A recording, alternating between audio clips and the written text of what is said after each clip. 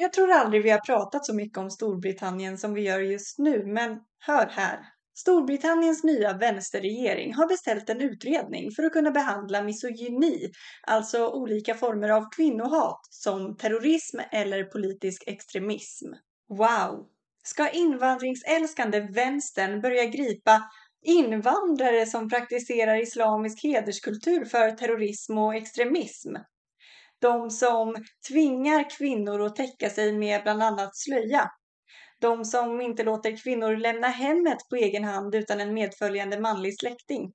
De som mördar kvinnor om de inte lyder. Nej, så kommer det såklart inte att bli. Den brittiska regeringen menar att de vill komma åt ideologiska trender på internet, som incel-ideologin, där män som lever i ofrivilligt celibat söker sig till varandra och beskyller kvinnor och så kallade alfamän för sina egna misslyckanden. Ja, den finns och där finns också kvinnohat som har lett till mord. Och de nämner även islamism och högerextremism i samma mening. Men om vi känner dagens västerländska vänsterrätt så är det här bara någonting som de gömmer sig bakom. För att kunna införa ännu fler lagar som inskränker de brittiska medborgarnas frihet. Storbritannien har alltså redan börjat gripa sina medborgare för att de använder sig av antietablissemangsretorik på internet.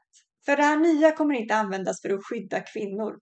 Som att se till att män som hävdar att de är kvinnor inte får göra det eftersom att det är misogynt och skapar utsatthet för kvinnor i massa olika miljöer. Det kommer snarare användas för att straffa medborgare som kritiserar kvinnor i makthavande positioner.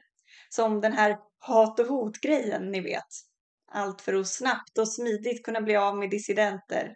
För regeringen nämner hat mot kvinnliga politiker som ett exempel på vad de vill bekämpa med en sån här lag och pratar om säkerheten på sociala medier Ja, ni vet som när EU häromveckan skickade ett brev till Elon Musk med hot om rättsliga åtgärder om han inte censurerade sin direktsända intervju med Trump på sin sociala medieplattform X.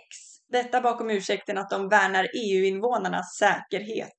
Det är säkert kvinnornas säkerhet de bryr sig om. Eftersom det är Storbritanniens vänsterregering som bestämmer vad som ska klassas som kvinnohat så kommer det här bli extremt godtyckligt.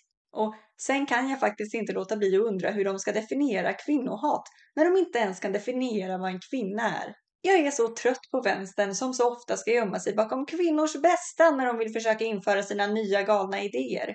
Kom igen när de bryr sig om kvinnors bästa på riktigt.